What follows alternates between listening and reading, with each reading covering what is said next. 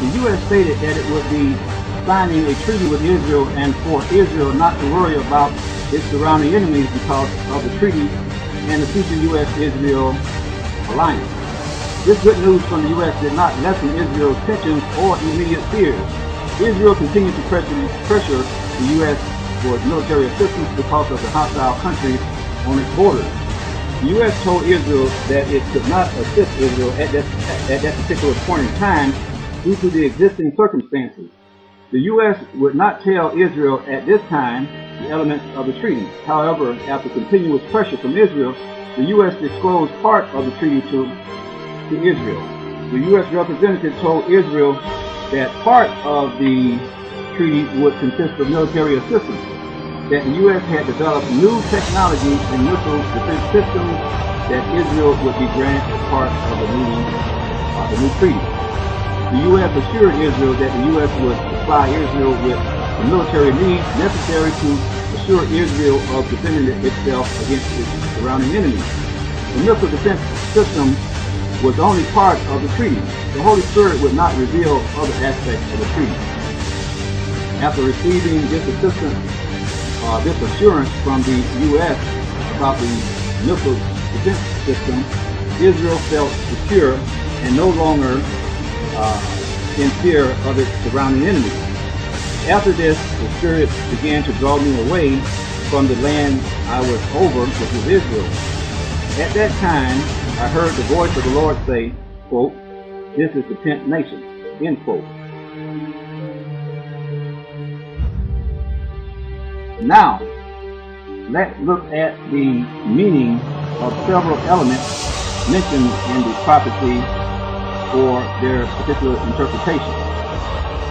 This interpretation, as the, uh, the vision itself, was written in 1987 when the prophecy was revealed.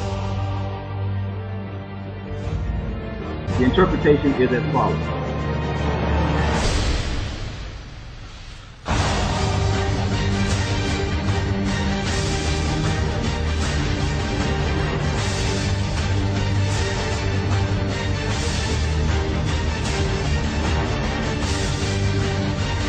There will be a major reorganization of world power and the roles of black men in the United States and abroad. Several worldwide events, many of which have already transpired, will come to pass leading up to revelation of the ten nation kingdom that will be part of the revived Roman Empire. Below I have outlined the vision by topic and we will discuss each topic briefly. Since this revelation, many events that were shown to me have come to pass. Manifestation of this revelation began six months after it was revealed. Palestinians began rioting in the Gaza Strip. Uh, these riots were in the exact geographical location where the young man, the young, the young black man, uh, or the young black teen stood in the vision. I was astonished one night as I watched the ABC Nightline program. The ABC Nightline program began to uh, discuss exactly what the Spirit had revealed to me six months earlier. This was just the beginning of the conflict revealed. The Nightline program confirmed the identity of the people represented by the young black king and the Israeli king. It is very humbling when you know the truth about a situation in detail, because it has, has been revealed to you by God. The prophecy or the prophet is humble because he knows the knowledge he has been given did not come from his own understanding or his own wisdom.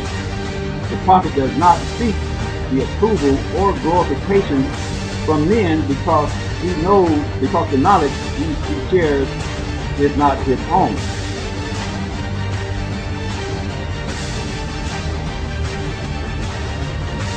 This became very apparent to me when I observed those who claim to be experts give their expert opinion on the Israel Israeli Palestinian conflict, and their opinions were completely incorrect.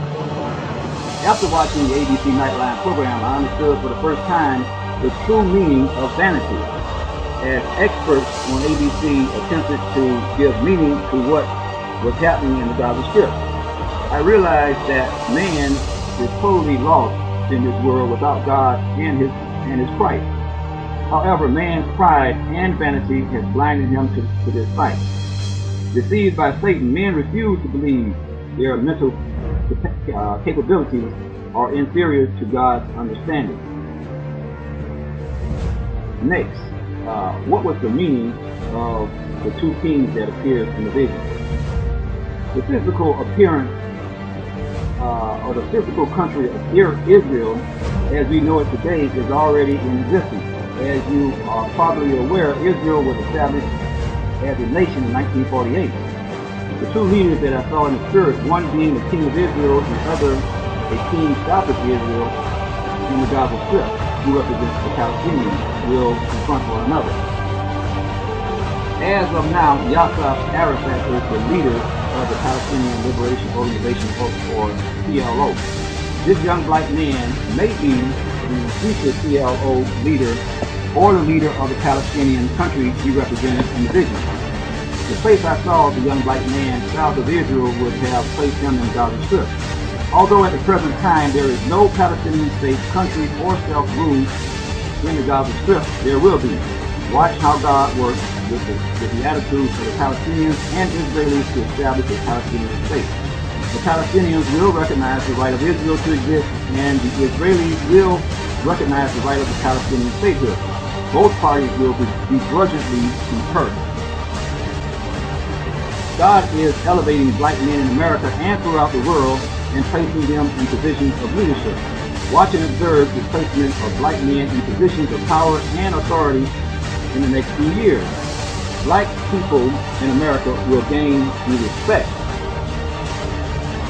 of many world leaders because of their newly acquired economic and political and other people of color. Black people will gain influence on a worldwide basis soon. Why?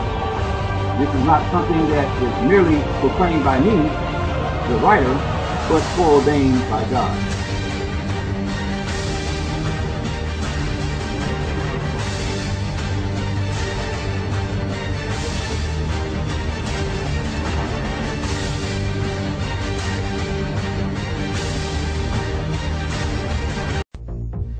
I'm Jane Hill in Washington, D.C. This is an historic moment. The United States of America has elected its first black president. Barack Obama will be the 44th U.S. president to enter the White House after a sweeping victory. Millions of supporters have been celebrating across the United States. Barack Obama will be the 44th president of the United States. This was the immediate reaction in New York's Times Square. Sheer joy. And this the response back in Chicago. Among the ecstasy, tears too.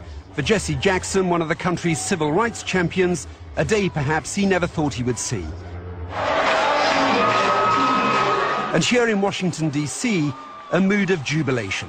We are taking the White House after eight years of misery. It means America's back, baby been a long time coming.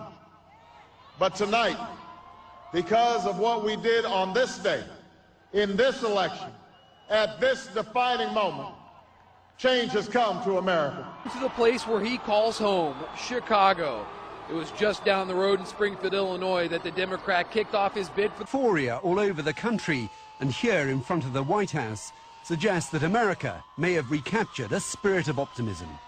The thought of an African American inside the White House is no longer a dream.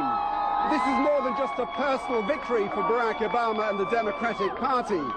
This is a watershed in American history.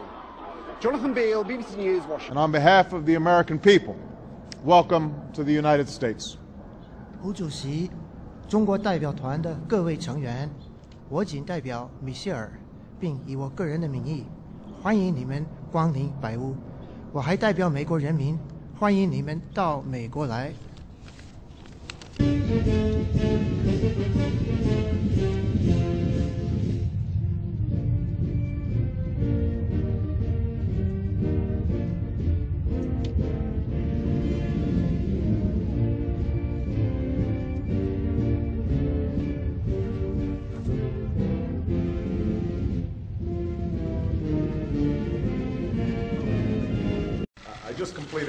An excellent one-on-one discussion uh, with Prime Minister Netanyahu, and I want to welcome him back to the White House. Uh, I want to, first of all, thank him for uh, the, the, wonderful statement that he made in honor of the 4th of July, our Independence Day, when he was still in Israel. and it, Barriers as old as America itself. He's looking ahead to the future. He has said his first order of presidential business will be to tackle the American economy, and he's pledged to withdraw most of U.S. troops from Iraq within 16 months.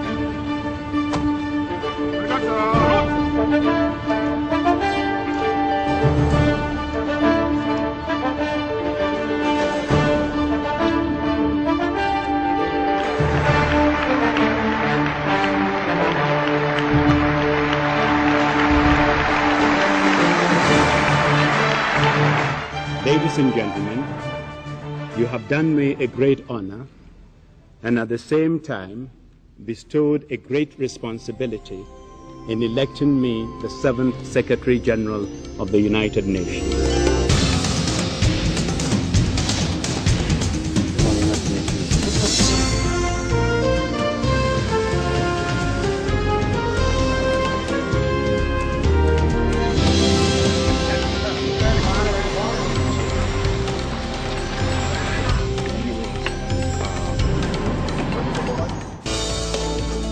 Within the next 15 years, I believe we can halve the population of people living in extreme poverty, ensure that all children, girls and boys alike, and particularly girls, receive a full primary education, and halt the spread of HIV/AIDS.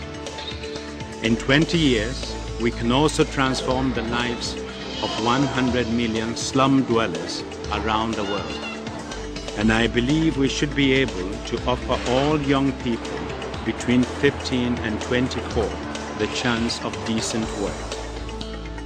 These targets are realistic if we take full advantage of the opportunities offered by globalization and the revolution in information technology.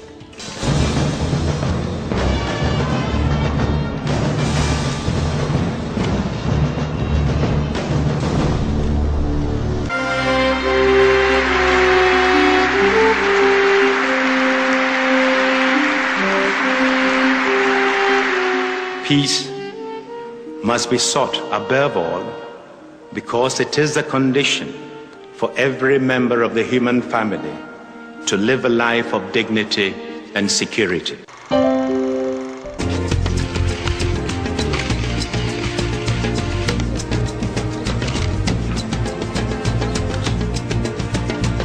When states decide to use force to deal with broader threats to international peace and security, there is no substitute for the unique legitimacy provided by the United Nations.